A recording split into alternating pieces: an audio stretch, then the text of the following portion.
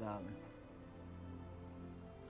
Saludos y bendiciones, queridísimos hermanos y hermanas, amigos y amigas en el Señor.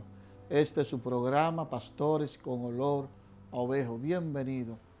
No es bienvenido, no es saludo.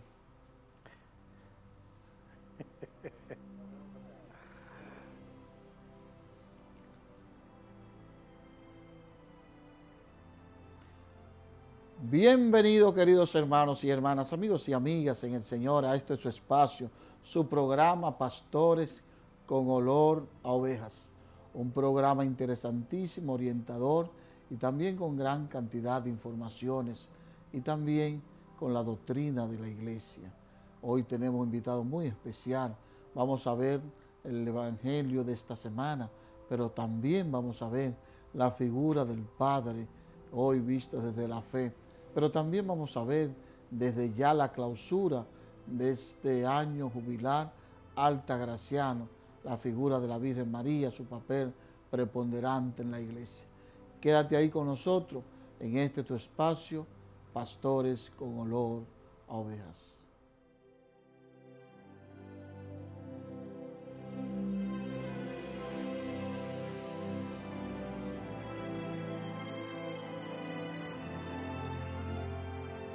Muchísimas gracias por su sintonía, por estar aquí en su, espacio, su programa Pastores con olor a ovejas.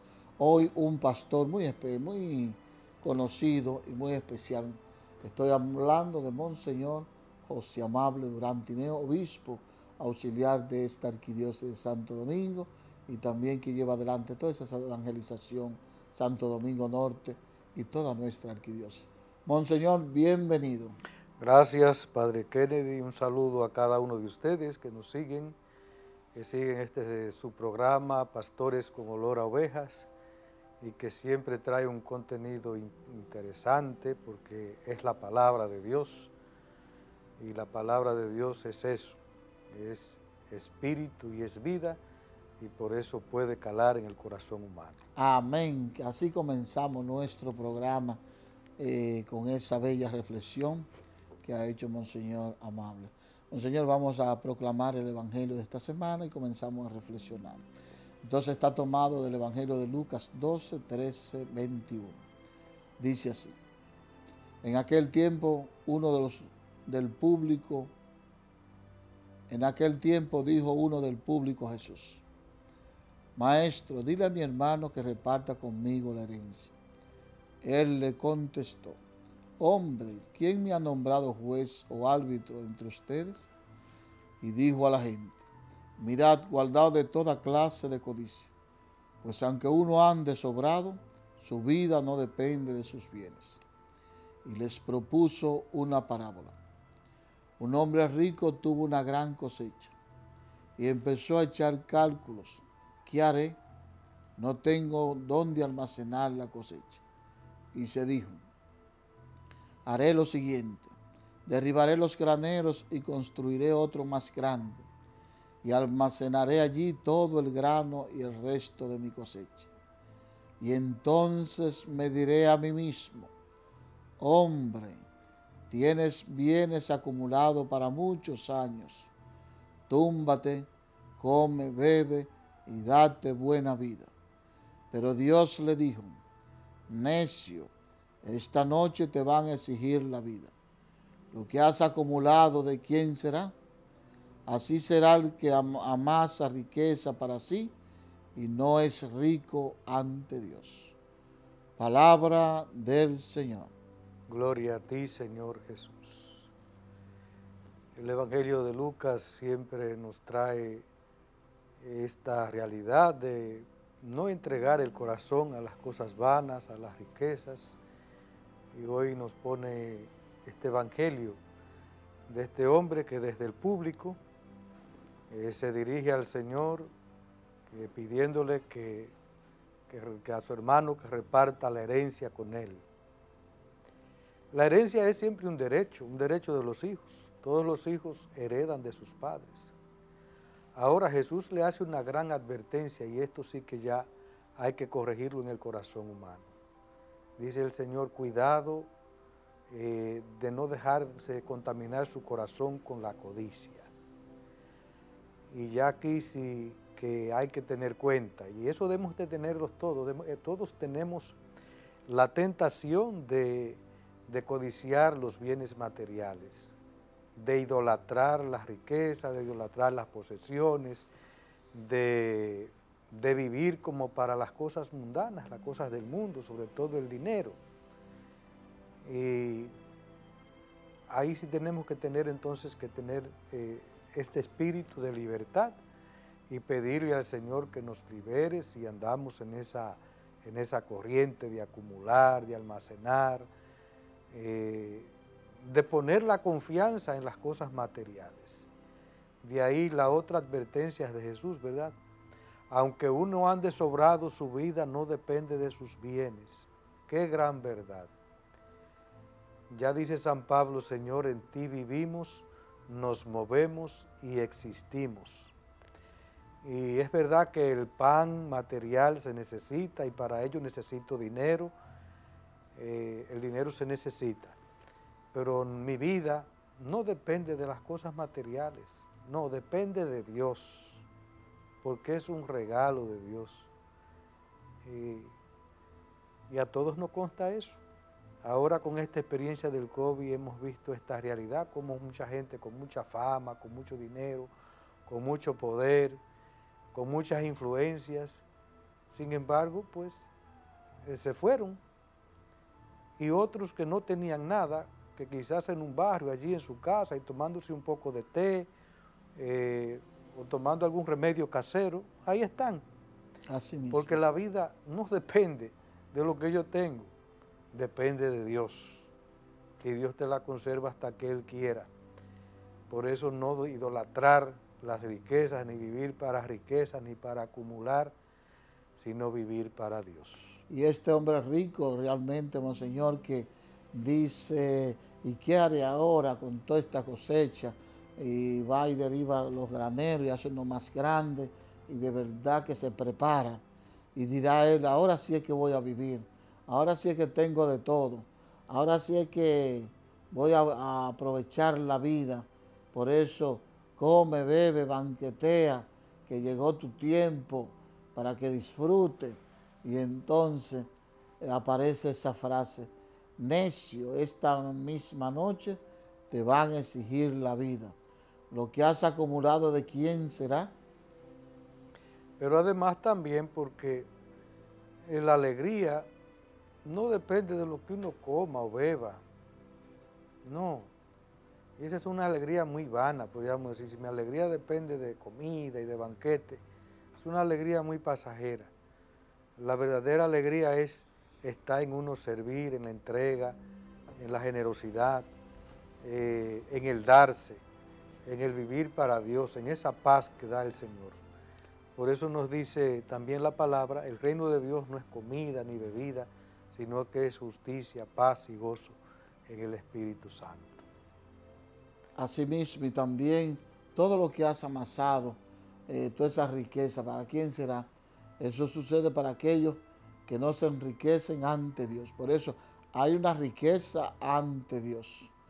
Hay que hacerse rico delante del Señor, rico en amor, en caridad, en fraternidad, en hermandad, rico también en armonía, en todas esas cosas buenas hay que ser rico.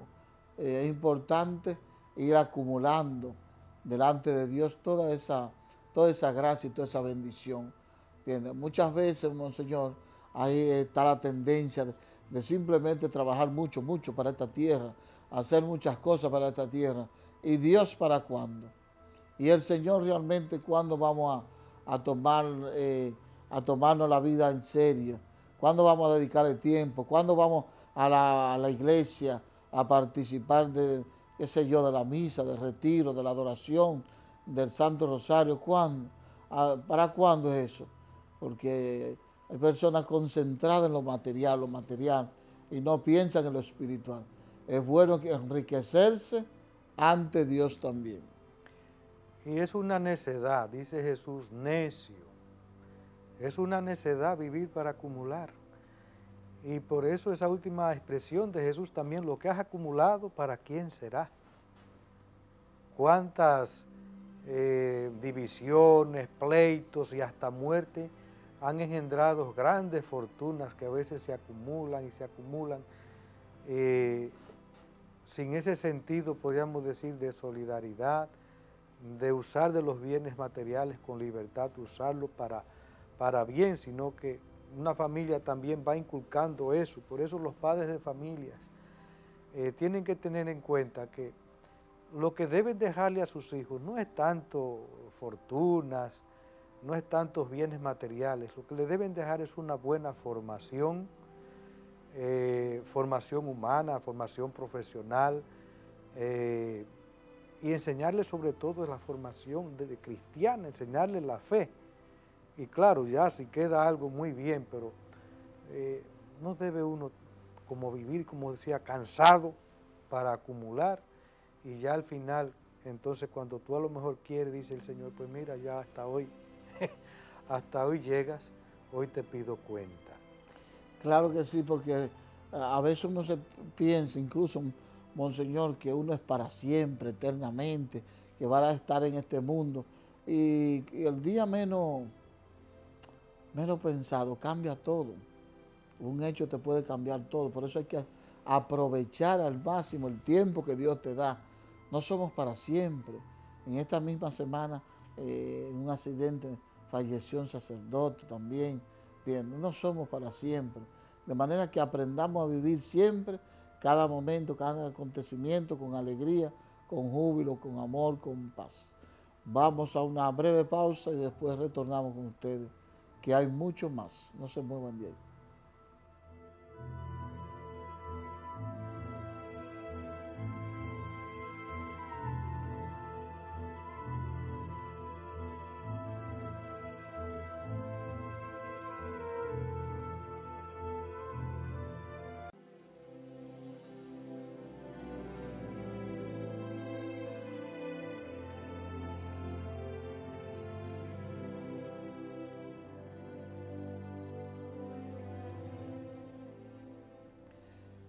Gracias, gracias, gracias por tu sintonía, gracias por estar ahí participando y viendo y disfrutando de tu programa Pastores con olor a oveja. Estábamos viendo, Monseñor, el Evangelio, pero ahora vamos a ver, usted sabe que hoy precisamente el Día de los Padres, y vamos a pedirle de verdad que hablemos de esa paternidad de Dios, hablemos también de los padres que, que que nos encontramos con tanta frecuencia, esos padres que tienen sus hijos, los padres de familia, tantos padres de familia que conocemos, el rol del padre de familia, eso es muy importante también. Bien, eh, el padre por, excelencia, por antonomasia, es, es Dios. Así mismo. Y es padre no solamente porque es creador, el padre siempre engendra, siempre crea, Dios es Padre en cuanto creador, pero es Padre también en cuanto a que tiene un hijo, un hijo por naturaleza que es Jesucristo. Y en Jesucristo también nosotros somos sus hijos, somos hijos suyos. Por eso dice que nosotros somos su pueblo y ovejas de su rebaño, hemos sido engendrados en el bautismo. Y por eso el padre humano lo, que hace es, podríamos decir también, es participar de esa fuente de la paternidad que es Dios. Participa. Y se hace entonces el hombre co-creador con Dios, porque puede eh, transformar ese mundo que Dios ha creado y puede también engendrar hijos para la nación, para la patria, hijos para la iglesia. Y nosotros también como sacerdotes y obispos, de igual modo participamos de esa paternidad de Dios. Por eso decía Pablo, eh, ustedes podrán tener muchos predicadores, pero padres no tienen muchos. Podrán tener muchos maestros, pero padres solo tienen uno. Porque de hecho, eh, dice, yo les he engendrado en la fe, porque la fe es un nuevo nacimiento. Así mismo. Es un nuevo nacimiento, un nuevo nacimiento en el Espíritu en el Espíritu. Y hablando de Pablo, Pablo mismo decía en la carta de los Efesios, un solo Dios, Padre de todo, que está por encima de todo y actúa en todo y está en todo. O sea, el Pablo reconocía la figura del, del Padre. Dios es Padre. Así es, Dios es Padre. Y también hay una cita del profeta Oseas que dice, de Egipto llamé a mi hijo. Por supuesto que esta era una profecía refiriéndose a Jesucristo, que después que María y José salieron con el niño, ¿verdad?, hacia Egipto, nuevamente vuelven a Jerusalén, vuelven a Israel, a la tierra de donde, a donde, la tierra propia de Jesús, ¿verdad? Pero ese, ese hijo también era el pueblo. Aquí cuando Oseas hablaba de eso, de Egipto llamé a mi hijo, se refería sobre todo al pueblo que también fue llamado por Dios, fue sacado por Dios desde Egipto y llevado a la tierra de promisión. De Egipto llamé a mi hijo. Y las cualidades de un padre, el padre no solamente, como decía ahorita, es co-creador, sino que el padre es sobre todo el que tiene la autoridad en su casa. Por eso también dice, dice la palabra, ¿verdad? Sobre todo el libro de los proverbios, que Dios hace al padre eh, podríamos decir, como más autorizados, más respetados que al hijo. Porque el padre es el que cumple la función de Dios en la familia, no solamente trayéndonos a la vida, sino que también tiene la misión de educar a ese hijo, tiene la misión de, de formar esa familia, de corregir esa familia y siempre hacerlo como lo hace Dios, con amor, porque eh, Dios a nosotros también nos trata, nos trata con amor. Y por eso, aunque uno se desvíe, a veces el Señor también nos corrige, pero nos corrige porque nos ama. Porque qué padre que ame a su hijo, lo deja por su cuenta, lo deja que haga lo que quiera, sino que aunque a ese hijo le duela y aunque no entienda, eh, el padre lo llama y lo jala y lo castiga lo castiga, pero es un castigo, lo corrige, vamos a decir. Lo corrige, pero siempre con amor. Claro que sí. También el profeta Isaías habla de la figura del Padre. Y sin embargo, Señor, tú eres nuestro Padre, es el profeta Isaías, capítulo 64. Como la greda que tus manos plasmaron, todos nosotros fuimos hechos por tus manos. También, Monseñor, el, el Evangelio de San Mateo habla también de la figura del Padre, sobre todo el capítulo 6, cuando dicen, fíjense en las aves del cielo, no siembran ni cosechan, sin embargo, eh, no guardan alimento en el granero ni nada por eso, pero el Padre del cielo, el Padre de ustedes las alimenta. A ver, ahí está la figura también de Dios Padre Creador. Y qué bueno que, vemos esa relación también de Jesucristo con su Padre, el Padre con, con su Hijo Jesucristo y ver esa figura de Padre. También el, el credo comienza así. Creo en Dios Padre, creador de todo. De manera que también vemos la figura de Dios como Padre. Dios creador y Padre de Jesucristo, Padre de todos nosotros, como decía Monseñor Amado. Y aparte de eso, Monseñor, de Dios creador, está también el Padre nuestro, que dice Padre nuestro. Aparece la figura del Padre. Hoy vivimos en un mundo de guerra, de divisiones, de violencia, de individualismo, de comercio. Y decía el Papa Francisco, que es como el padre, el gran patriarca en la iglesia, en la encíclica Fratelli Tutti, que es imposible que vivamos una fraternidad y que busquemos la fraternidad en el mundo si no reconocemos que tenemos un Padre común, porque esas son dos cosas que se condicionan la, una a la otra. Si yo no entiendo que tengo el mismo Padre que, que el haitiano, que el musulmán, que el que piensa distinto de mí, entonces yo no lo voy a considerar mi hermano. Pero si entiendo que ese también es hijo de Dios, aunque piense distinto de mí, aunque tenga otros valores, aunque tenga otra cultura, pero es hijo de Dios y Dios lo ama y Dios lo respeta y Dios lo cuida y Dios lo, ama así. Entonces es otra forma de ver eh, al hermano, es otra forma de construir la paz. Eh, la paternidad de Dios, la paternidad común de Dios nos lleva a la paz, nos lleva a la solidaridad. Así mismo, Monseñor, ¿y cómo te ve la figura del Padre? Hoy en la familia. hoy, hoy precisamente donde República Dominicana nosotros celebramos el Día de los Padres, precisamente hoy domingo, Día del Señor y Día de los Padres, aunque algunas culturas ya lo han celebrado anteriormente, incluso el, el, fin de semana pasado celebramos la Jornada Mundial de los Abuelos y también de los ancianos, donde hacía alusión a Joaquín y a Santa Ana y, también de una u otra forma hacía alusión también a los, a los padres.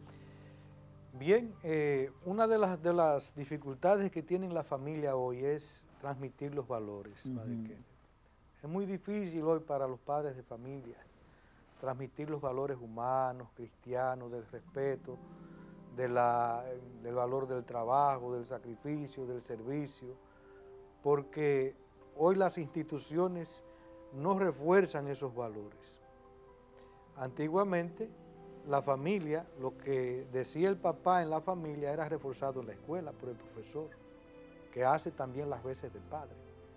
Era reforzado por el catequista, era reforzado por el alcalde de la comunidad, por el que tenía alguna autoridad, pero hoy no es así, hoy es, hoy hay una, a veces una contradicción entre lo que la familia va enseñando en el seno de la casa, en el seno familiar, y lo que luego en la iglesia o en las escuelas sobre todo se enseña. ¿Cuántos profesores a veces... Peligroso esta contradicción, monseñor, ¿eh? Claro que sí. Y también de una a otra, porque eh, a veces también hay padres de familia que si el profesor le corrige a su hijo, cuando debiera estar eh, contento de que hay un profesor que no solamente le enseña matemática o le enseña lengua española a su hijo, sino que también trata de, corregirlo y enseñarle las virtudes eh, humanas y cristianas. No, pero hay padres también, hay que decirlo, aunque estamos celebrando el Día del Padre, que se aparecen allí con un machete, desafiando al profesor. ¿eh? Entonces, también habría que preguntarse si estoy cumpliendo con mi misión de padre si yo estoy realmente eh, o simplemente engendro a mi hijo, pero no lo formo, no, no lo formo para que sea una persona de bien, una persona que luego en la sociedad puede aportar, puede crecer, puede madurar, puede encontrar un espacio. Así mismo, porque también la figura del padre, es importante que el papá, el padre de familia, pues tenga también esa conciencia de autoridad también en la casa. La figura del padre siempre hace alusión a la ley, a los mandamientos, a la Torá. así como la figura de la madre hace alusión a la misericordia, a la ternura, con cercanía, con paciencia. La figura del padre eh, hace alusión a la autoridad. ¿Y qué sucede cuando el padre, sobre todo algunos padres que dicen, ese, ese es mi amigo, es mi hijo, pero también somos los amigos? Y entonces comienza esa eh, esa amistad, eh, esa forma de amigo, y se va perdiendo la figura del padre, porque un amigo, eh, entonces el hijo trata sin cuidado a su padre, porque son amigos, ¿entiendes? No es, no es que es padre, sino amigo, porque hay tanto amiguito y el padre es otro más. Entonces muchas veces ahí se va perdiendo. No, no, el padre es padre y el amiguito es el amiguito. O sea que hay que respetar también eso. Así es. Y sobre todo los hijos, eh, tener ese sentido de gratitud con su papá y su mamá. Cuando hay un hijo agradecido, no solamente, podríamos decir, aporta al hogar, sino que también eh, no abandona a su papá en el momento difícil, en el momento de la enfermedad, en el momento de la vejez, porque eh, no olvida todo lo que ese padre ha hecho por ti. Porque también hay que reconocer cuántos padres abnegados con su trabajo, viviendo día tras día, a veces con trabajos muy duros en la calle eh, o simplemente en un consultorio, en una tienda, en un aula. ¿Cuánto pasa un padre de familia para levantar a sus hijos? ¿Cuánto conviene entonces que tengamos ese sentido de reconocimiento, de agradecimiento, de gratitud a ese que me ha dado la vida y que sigue gastando la suya para que yo crezca. En este sentido hacen como dice Juan el Bautista, es preciso que yo disminuya y que tú crezcas. Eso es lo que hace un padre de familia, porque en cada gota de sudor ese padre se va gastando. En cada madrugada que tiene que levantarse, a veces pasando frío, eh, a veces cuando le cae tremendos aguaceros en la calle porque hay muchos padres. Con mucho sacrificio para buscar el pan de cada día, para ir al trabajo cuando está lloviendo, cuando la situación está dura, como ahora que hay muchos tapones, monseñor. Entonces, ser padre también no es fácil. De verdad que animamos a todos aquellos padres de familia a celebrar en su día con entusiasmo, con, alegría, con ánimo. Eh, ustedes realmente se lo merecen. Y también invitamos a los hijos a preparar su regalo a los padres, hombre. No, no lo abandone, dice, dice la lectura, aunque choche, no lo abandone, ¿entiendes? Y además regálale algo en el Día de los Padres, o, eso es bueno también, ve un regalito, y no me venga con pañuelo otra vez, regálale algo. sigue regalándole, sigue regalándole. De manera que vamos a una breve pausa y seguimos en este su espacio, Pastores con olor a ovejas.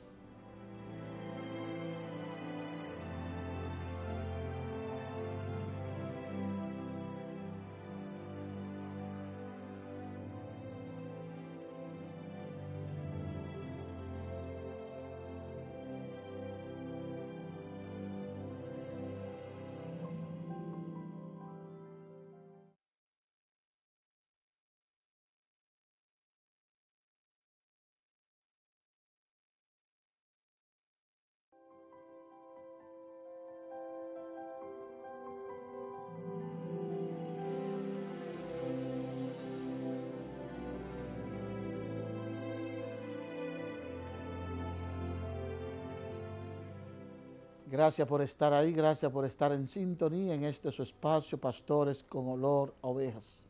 Vamos ahora a ver en, este, en esta sesión lo que es la coronación de la Virgen de Nuestra Señora de la Alta Gracia. Viendo desde el enfoque ya de la clausura que se está próximo, ya se aproxima ese día de la clausura de Nuestra Señora de la Alta Gracia. De por sí, Monseñor, ya le digo que esa clausura será en el Estadio Olímpico, será el lunes 15, eh, será también a las 10 de la mañana la solemne Eucaristía, Dios mediante, y que todos tenemos que ir al Estadio Olímpico, ahí, aquí en el Centro Olímpico, porque hay que participar y hay que eh, llenar esa, ese estadio con la gracia de Dios. Padre Kennedy, qué alegría es saber que no solamente tenemos un padre, tenemos una madre. Nosotros tenemos a Nuestra Señora de la Altagracia como nuestra protectora nacional. Y por eso, ¿cómo no alegrarnos de que venga aquí a nuestra arquidiócesis para cerrar este año jubilar? Esto nos produce realmente una alegría desbordante. Y por eso desde ya les invitamos a que recibamos a nuestra Madre, en la Catedral Primada de América a las 7 y 30 de la noche del domingo 14, ya llegará a la catedral y a las 8 comenzará una serenata eh, que también conviene que no nos la perdamos, ya sea con un acto de presencia allí en la catedral o siguiéndola a través de los medios de comunicación, de Televida, La Voz de María, y todos los canales que luego el padre Kennedy va a informar y que van a, transmitir eh, este gran acontecimiento, no solamente a nivel nacional, porque tenemos dominicanos en todas partes del mundo y todos vamos a tener la oportunidad de vivir este, esta clausura, eh, de cantarle a la Madre, de orar con ella, de meditar con ella, de celebrar con ella estos 100 años de su coronación canónica. Claro que sí, saber también que en el año, en el año 1922, el 15 de agosto, cuando fue coronada por el Papa Pío IX, eh, en ese tiempo que fue coronada había una, pandemia, una epidemia, sobre todo esa peste española, que aquí había un, también un tiempo de tensión. ¿Y por qué? Porque en ese tiempo también estaban eh, las tropas norteamericanas en el país, pero el, dominicano comenzó a orar, comenzó a rezar, a implorar a la Virgen de la Alta Gracia, y entonces ella que es soberana reina y soberana del pueblo dominicano, la madre comenzó a obrar.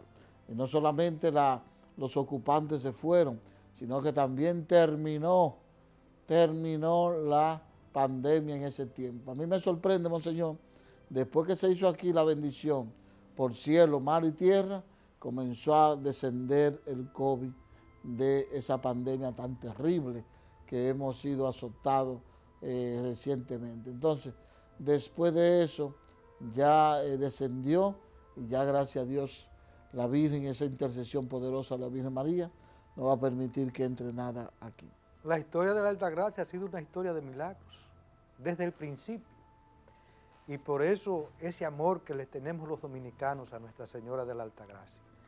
Y entonces, ¿cómo no vamos a ir, verdad, a celebrar con ella esta gran fiesta? Y recuerden, el Estadio Olímpico estará abierto desde las 6 de la mañana, Padre, desde las 6 de la mañana, el 15 de agosto.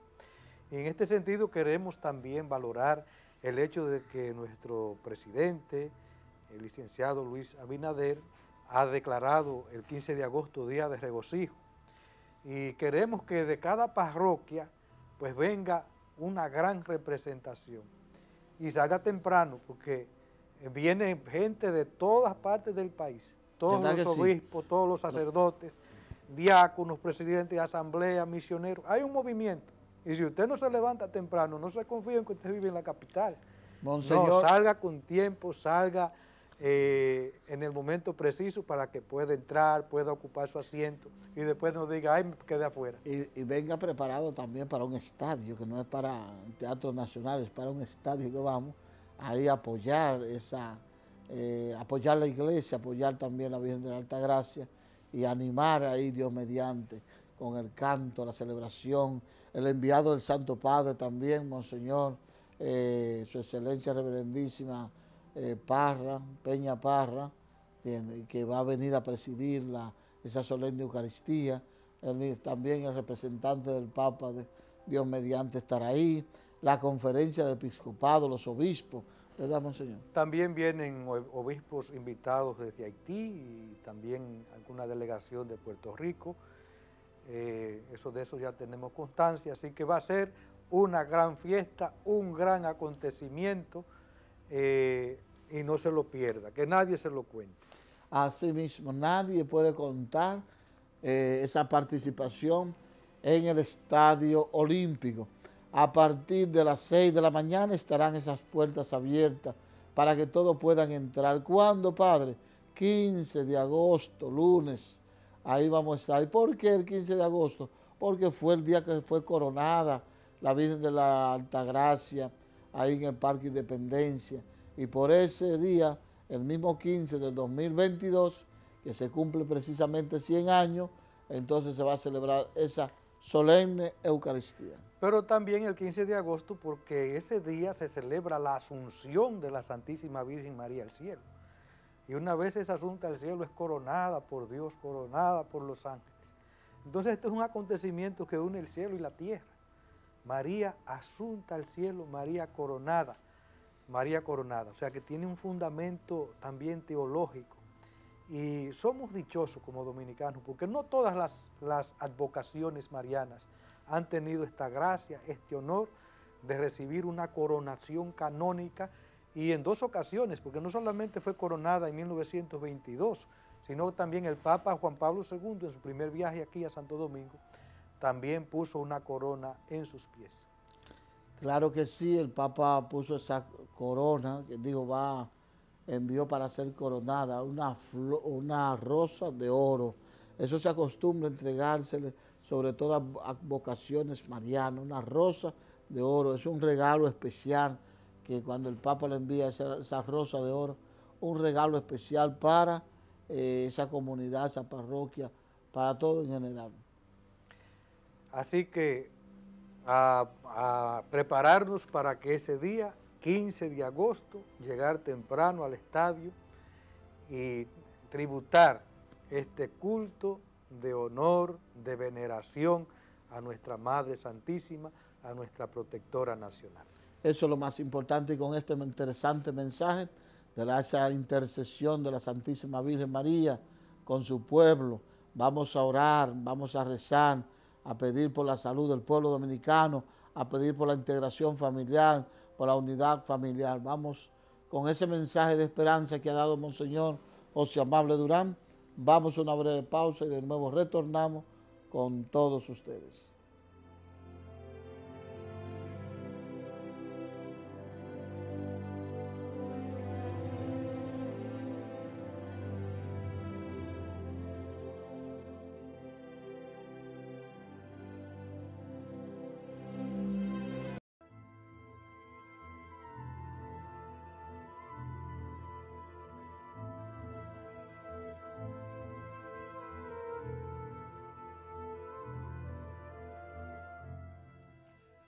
De nuevo con todos ustedes, apreciados hermanos, amigos en el Señor, en este su espacio, pastores con olor a ovejas.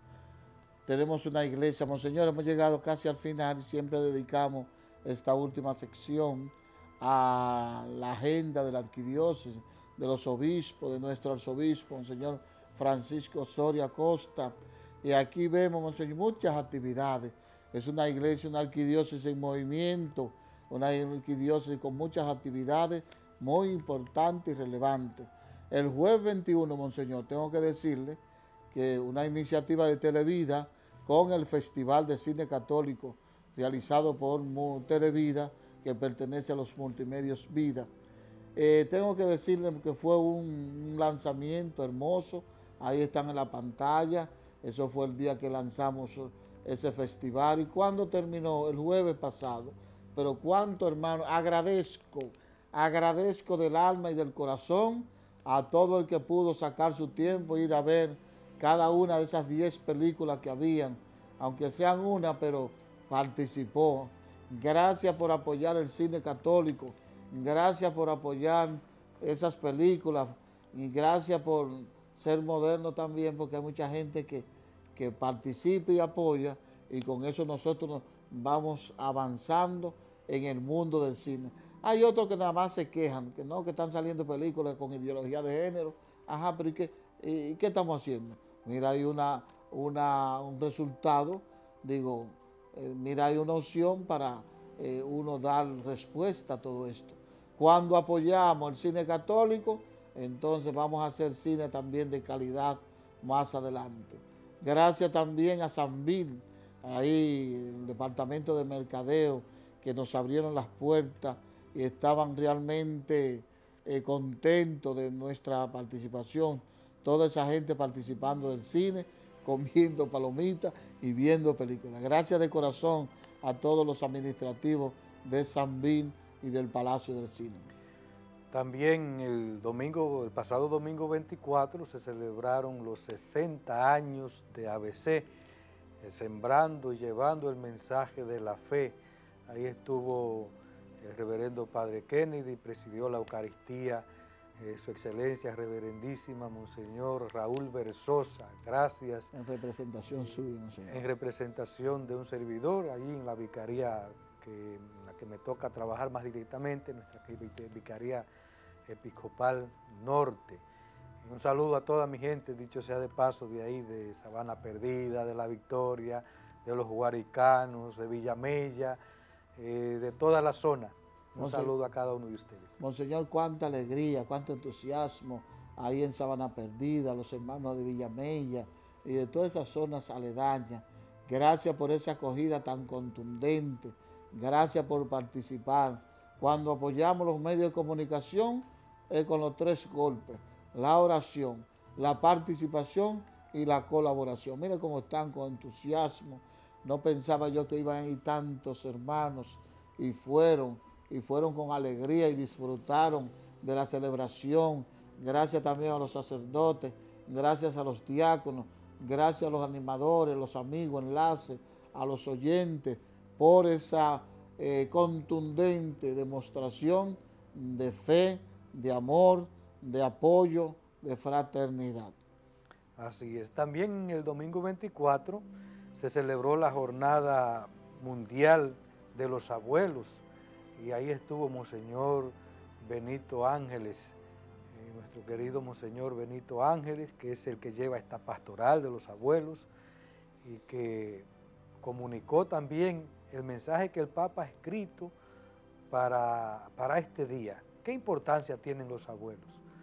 Las personas mayores eh, tienen también tanto que aportar porque tienen una experiencia acumulada, tienen una sabiduría, tienen un recorrido, tienen un testimonio que inestimable, podríamos decir. Claro que sí, los abuelos, abuelas, y ese mensaje del Santo Padre basado en el Salmo 92, 5, que habla también de que en la vejez y en las canas estará lozano, estará frondoso, seguirá dando fruto también, de manera que eh, no hay que tener miedo, decía el Santo Padre, a la vejez, porque es una etapa también muy importante en la vida. Dichoso los que llegan también a la etapa de los adultos mayores de la vejez. Ahí está Monseñor orando por los abuelos, las abuelas, por los adultos mayores. También el 26 de julio, eh, Monseñor José Grullón, que dicho sea de paso, cuánto trabaja nuestro querido hermano, Monseñor José Grullón, con este centenario de Nuestra Señora de la Altagracia. Ha hecho esta rueda de prensa, eh, motivando, invitando a que todos nos unamos a esta gran celebración del 15 de agosto para clausurar este año de gracia, donde el Señor ha derramado tantas bendiciones por intercesión de Nuestra Señora de la Alta Gracia. Claro que sí, ahí estaba también Julio César Castaño, un gran colaborador de la comisión, estaba Sonia de Brauen, estaba también José Armando Tavares, Kirsi, un servidor, y cuánta gente, Monseñor, también el Padre Cualo, eh, y tantos servidores ahí de esa comisión que está preparando la clausura. Cuando se va al Olímpico hay que prepararlo, hay que preparar comunicación, hay que preparar eh, también la logística, hay que preparar tarima, hay que preparar un conjunto de cosas que estamos preparando para ti, para cuando tú vayas junto a la Virgen María, el cuadro de la Alta Gracia que viene, puedan estar confortables y pueda hacer una buena una buena administración, una buena transmisión y un buen evento y una buena ceremonia con el representante del Santo Padre que trae una rosa, una rosa roja, no, una rosa de oro, Señor. Entonces, eh, eh, ese día lo estamos preparando con mucho entusiasmo. Cuidadito si no va. Es importante apoyar todo ese acontecimiento. ¿Qué más, Monseñor? No, la última actividad de ayer, o sea, la Virgen ha movido cielo y tierra porque ¿quién como ella? ¿Cuántas peregrinaciones de todas las diócesis? Ayer nuestra arquidiócesis de Santo Domingo ha peregrinado allí a los pies de Nuestra Señora de la Altagracia, porque siempre que vamos allí recibimos grandes bendiciones, por eso no nos cansamos de ir allí a Higüey, de, tributarle nuestra veneración a ella, que tanto ha hecho por nuestra patria, por nuestra iglesia. También quiero invitar, Monseñor, aparte, claro está, del 14 y el 15, que ya sabemos, que tenemos que ir el 15 al Olímpico. Aparte de eso, Monseñor, el mes de agosto es un mes especial aquí en Televida, Monseñor, porque celebramos aniversario. ¿Y qué tenemos? Tenemos dos actividades con respecto a nuestro aniversario. La primera es que el día 27 viene Monseñor Osorio a presidir la misa aquí en Televida a 10 de la mañana con el consejo, con algunos sacerdotes, eh, y también con el personal. 10 de la mañana, el día 27 de agosto, aniversario de Televida, 27 años. Y el, y el día, el jueves antes, yo creo que jueves 25, día de Nuestra Señora de... Ah, no, no del cobro. Entonces, el día 25, jueves, vamos a tener una cena tropical allá en el Club de la Fuerza de la Armada. Una cena ahí para todos aquellos que gusten, para la familia de Televida. ¿Quiénes vamos a ir? La familia de Televida. ¿Dónde? Una cena tropical. ¿Dónde? Allá en el club de las Fuerzas eh, Armadas. Y ahí vamos a participar. Llama a Televida, pregunta por tu taquilla para poder entrar y así disfrutará con todo el elenco de Televida el canal católico de la familia. Tú perteneces a la familia Televida, por eso yo quiero verte en esa cena, una cena a precio cómodo, un señor, para que todo el mundo participe. ¿A cuánto, cuál es el precio? ¿Ya está definido? El precio está definido, son como dos mil pesitos. Dos mil pesitos. Eso, pagando el club ya se van los dos mil pesitos. Pero eh, como quiera, nosotros lo que queremos es que la familia Televida pueda participar de la cena. ¿Qué le parece a ella, monseñor? ese lugar es precioso, muchas muchas palmas, eh, la costa, eh, la vista al mar, va a ser a las 7 de la noche, de manera que va a estar, se ve la zona colonial hermosa, el mar, la playa, el río Sama. Ven acá. La gente, el compartir y la cena. Y la, cena. Entonces, tanto por tan poca cosa, sí, es para que tú puedas ir, tú que eres de la familia Televida. Toda la familia Televida nos vamos a celebrar el aniversario de Televida y así colabora con las transmisiones y los medios de comunicación. ¿Qué le parece, monseñor? Así es. Que, Invítemelo, por favor, que hay algunos que no van. No, que ya hace tiempo que ya están eh, buscando la manera, ¿verdad? Diciendo que vamos para allá, vamos a, apoyar esta actividad que es una actividad de todos. Así mismo, y llame con tiempo también porque el cupo es limitado. Bien, monseñor, vamos a terminar dando la bendición. Le pido eso, que dé la bendición a tantos hermanos que están enfermos y a todos esos que piden oración y a todos esos que piden siempre que se ore por ello. Bien, pues lo primero es dar gracias a Dios por este momento que nos ha concedido, por su palabra que nos ilumina, porque es Padre de amor y de misericordia, por todo lo que va haciendo, gracias a la fuerza de su Espíritu en nuestra iglesia, por darnos a nuestra Madre. Y que les bendiga el Dios Todopoderoso, Padre, Hijo y Espíritu Santo. Amén. Amén. Muchísimas gracias. Hasta la próxima ocasión. Bendiciones.